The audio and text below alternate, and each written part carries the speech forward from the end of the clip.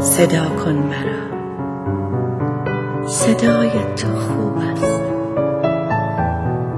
صدای تو سبزینه آن گیاه عجیبی است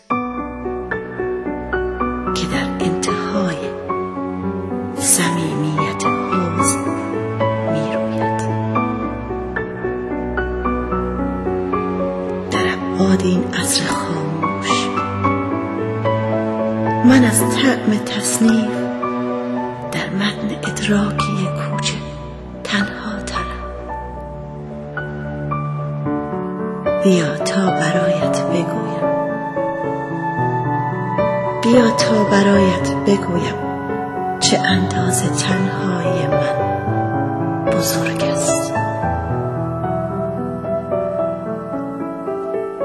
و تنهای من شبیخون حجم تو را پیش بینی نمی